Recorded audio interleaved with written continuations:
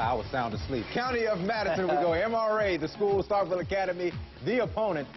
MRA, first in the highlight, they get on offense. The coach's son, Hayden Davis, finds Chase Pennington for the first down. Go ahead and move those sticks, but nothing doing on that drive.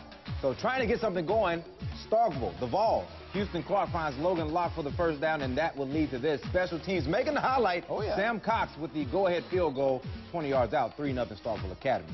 MRA facing a fourth and short when Clinton Moses takes the handoff up the middle. Just barely gets that first down, but keeps the drive alive. And Hayden Davis would find Nathan Barr all alone in the end zone for the touchdown to put MRA up 7-3. And in the end, Madison Ridgeland Academy gives Starkville Academy What? its first loss What? of the season.